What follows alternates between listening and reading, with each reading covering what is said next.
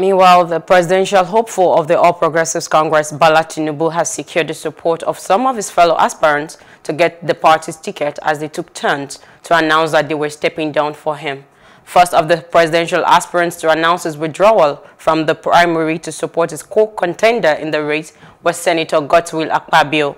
He explained that he took the decision to step down for the APC chieftain in the interest of the party and the nation and asked his supporters to pitch their tent with the former Lagos State governor. Similarly, six other aspirants announced their withdrawal from the contest for the APC presidential ticket and subsequent support for Tinubu. Their former governor of Ogun State, Ibikunle Amosun, Governor Kayode Fayemi of Ekiti State, former Speaker of the House of Representatives, Dimeji Bankole, Governor Abubakar Badaru of Jigawa, Senator Ajayi Boroffice, and the only female in the contest, Uju Ken Ohanenye. Hello, hope you enjoyed the news. Please do subscribe to our YouTube channel and don't forget to hit the notification button so you get notified about fresh news updates.